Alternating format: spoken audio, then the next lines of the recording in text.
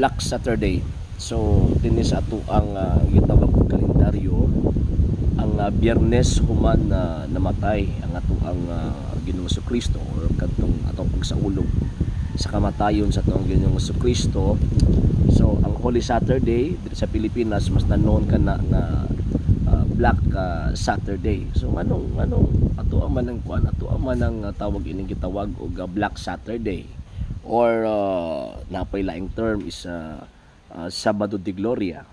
Nga naman kay pinakauna nganong mas nanon man nato nga Black Saturday tungod kay kini nga panahon is mao ni siya ang morning day. Pasabot uh, panahon nga diin ang mga Katoliko nagpangutan tungod sa hinungdan nga syempre ang ato ang Ginoong Dios nga nahimong tao gilubong kini dito sa gitawag og lubnganan.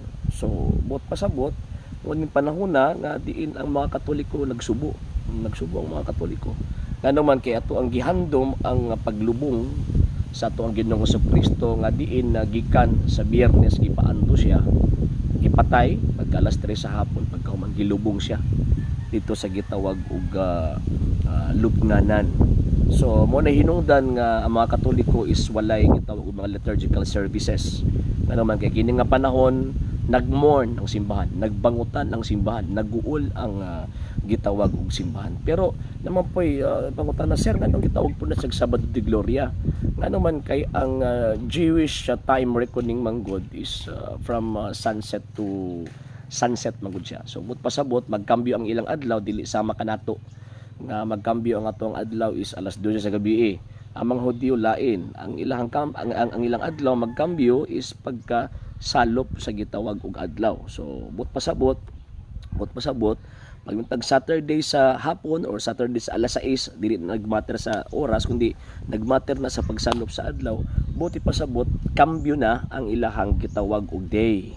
So kung uh, mosalop ang adlaw pagka Sabado sa tuang uh, uh, tawag ining present uh, reckoning nato uh, sa ilahas mga Hudyo Sabado na na. Nya mao pud na panahon na nga diin Muna ng panahon na is kitawag og Easter Vigil.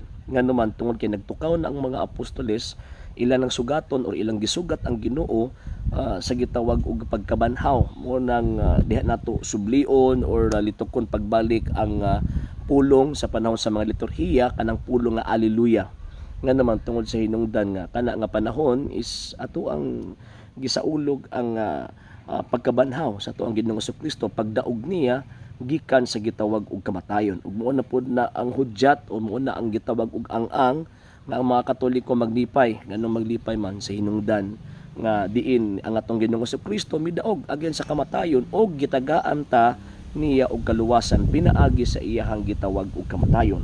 Ug ni anang panahon na mo na pud na panahon na nga diin gisaaran ta sa Ginoong Dios atong Ginoong Kristo nga sama kaniya makabaton usab og kinabuhing dayon si bisan kinsa nga mutuo ug mudawat uh, kaniya so mo na hinungdan kita mga katoliko nga mo gamit ang term nga Black Saturday or uh, gitawag og uh, uh, Holy Saturday Nya nganong nganong man pud nga gitawag pud sa Good Friday nga mo man pagkamatay sa tuang Ginoong Kristo. Remember, ang Dios lang ang good, di ba?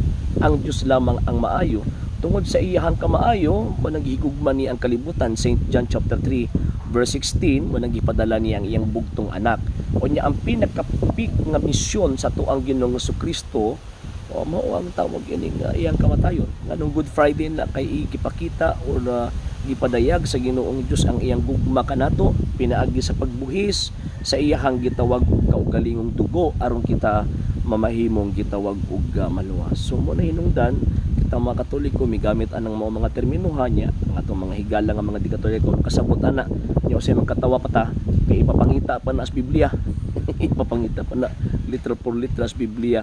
So mo na magkatawa ta. Kay kun ana ang ingon ana ang ilahang basihan na kundi mabasa uh, dili tinuod. Aw sila po dili po sa tinuod kay po sila mabasa sa Biblia. Masa sa pagtulunan man na o sige kaninyo pagtulon nga sa eskriptura dili man pud na mabasa sa Biblia.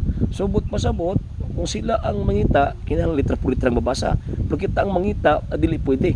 No, okay lang magsabot-sabot ng silang ila. So na.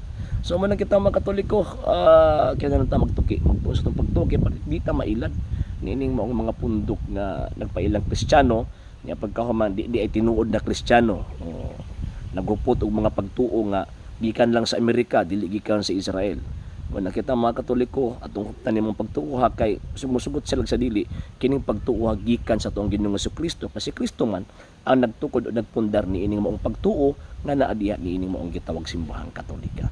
So ay yun so nya dili sa ta mag live magbalik tag live uh, this coming uh, uh, Monday na. Monday na puhon kay para syempre pagrespeto nato sa niining maong uh, pagsaudog sa tuang gitawag kong pagpamalandong okay so sa ngalan si Bok Perez TV Apulia Punto Argumento gipanguluhan o gipangunahan sa Catholic apologist. Kini niyong ubos nga lagat igsus pagtong katoliko sa RG Seno temporary manimit kini niyong bingon Ecclesiam Servire et Fidem Catholicam Defendere maayong adlaw tanan Ave Maria Viva Cristo Rey